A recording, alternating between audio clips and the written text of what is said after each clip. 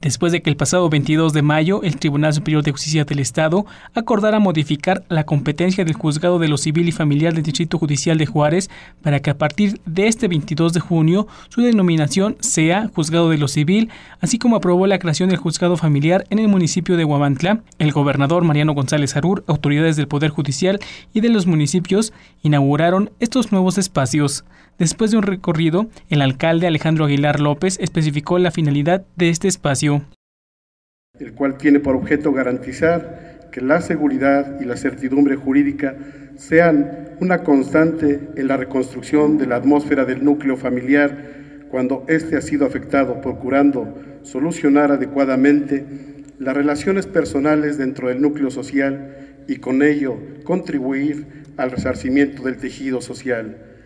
En este edificio donde prevalece ya la modernidad del Poder Judicial, atendiendo siempre a las nuevas tecnologías, la digitalización de sus archivos y también la construcción de una ciudad judicial que el señor gobernador ha tenido a bien en este plan de gobierno tan importante, es a donde nosotros vamos a recibir servicios de calidad.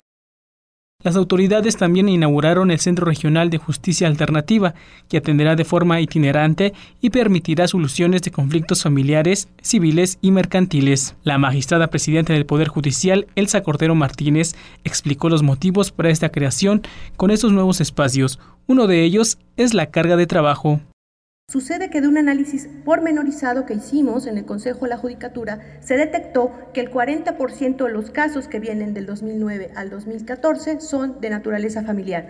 Un 29.5% corresponde a la materia civil y un 29.5% a la materia mercantil. Esto justificaba la creación, pero también la necesidad especializada sobre la materia. Desde el 2001, la Ley Orgánica del Poder Judicial ordenó crear juzgados familiares. Desafortunadamente, como este y muchos otros decretos, no se generó el presupuesto para ello. Por eso tuvimos que generar una acción paulatina para ir creando juzgados familiares, contando el día de hoy con juzgados familiares en Hidalgo, Cuauhtémoc, Lardizábal Uribe y Zaragoza. En este momento solo restan Morelos, Ocampo y Xicotencal que actúan de manera mixta. Recordar que hace un año el gobierno del estado entregó al Poder Judicial el inmueble de Palacio de Justicia de Huamantla, que da servicio a lo civil, familiar y mercantil a nueve municipios, Huamantla, Coapiaxtla, Alzayanca, Ixtenco, Terrenate, Tequesquitla, Ciclaltepec, Emiliano Zapata y Lázaro Cárdenas. El Poder Judicial del Estado de Tlaxcala no solo se compromete, sino se activa para cumplir con las responsabilidades ahora ya no solo convencionales, constitucionales, sino también convencionales. Somos creativos, pues la creación de este juzgado y de este espacio no representó un presupuesto especial, lo cual tampoco es ideal, pero en este momento es posible.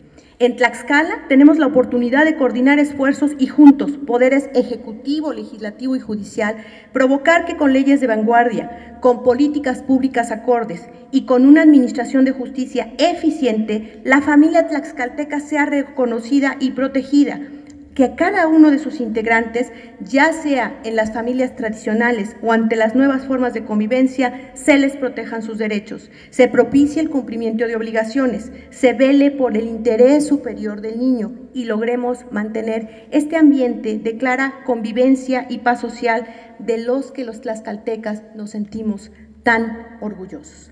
Señor gobernador, Hace unos días usted exponía en su discurso oficial una invitación a todos los actores políticos. Nos pedía sumarnos a todos por Tlaxcala.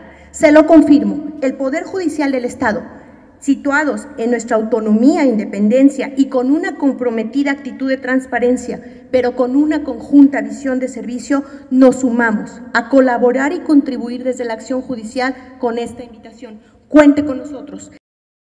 El gobernador recorrió el espacio físico destinado para niños y niñas que acompañan a sus padres o tutores a realizar algún trámite o en algunos casos alguna diligencia a los menores. El jefe del Ejecutivo local, Mariano González Arur, expuso que el país vive un proceso de cambio que marcará el rumbo de las próximas décadas en beneficio de su desarrollo.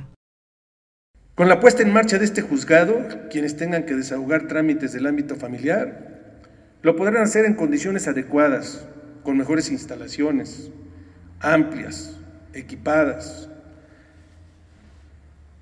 porque la verdad es que en el juzgado en las instalaciones donde estaban los juzgados aquí en Guamantla, verdaderamente eran de dar lágrima, como dice el pueblo.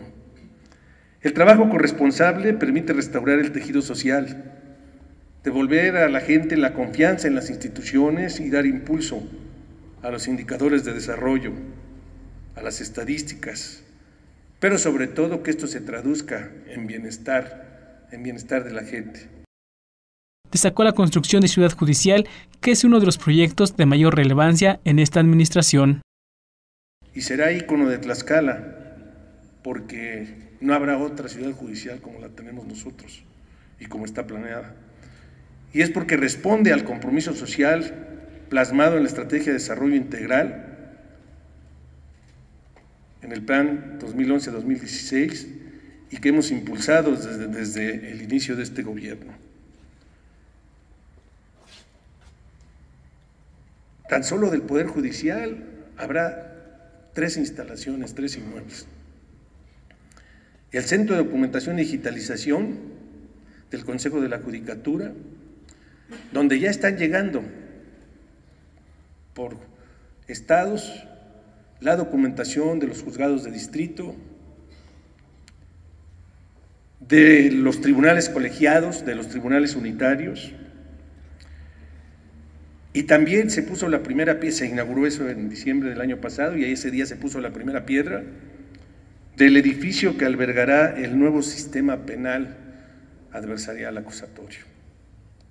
Y próximamente, en cuanto se inaugure ese también, se iniciará el edificio sede del Poder Judicial de la Federación aquí en Tlaxcala, en donde estarán los tribunales colegiados y unitario, un nuevo tribunal colegiado, así como los cuatro juzgados de distrito, la Defensoría de Oficio y la Administración. Para finalizar, el mandatario informó que en menos de un año se inaugurará el edificio que albergará el Tribunal Superior de Justicia del Estado, ubicado en Ciudad Judicial. Leonel López, Sistema de Noticias.